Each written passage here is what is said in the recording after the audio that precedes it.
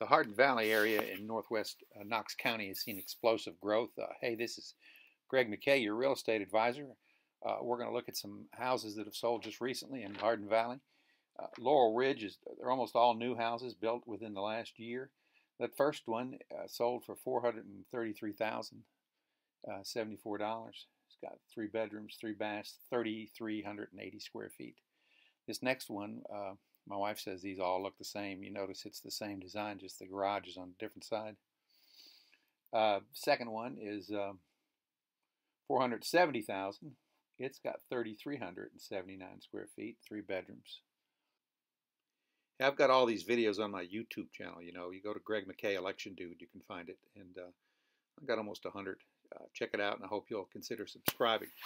Uh, now we're getting to the third one. It's in the same, it's in the Laurel Ridge. It's a smaller house.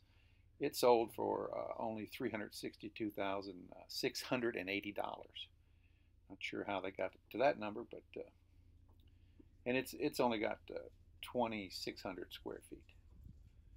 So, and now uh, right, right down the road in Hardin Valley, uh, you get to the Glen at Hardin Valley. Here's the fourth one we're looking at today. It's $334,900.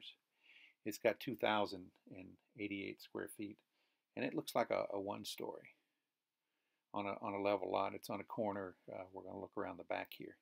You can see the dumpster where they're, they're building in this neighborhood as we speak. And uh, then the last one we're looking at here today is in this area. It's um, went for 300 and, uh, 354 five it's got three bedrooms, three baths. Uh, it's in Hardin Valley Vista.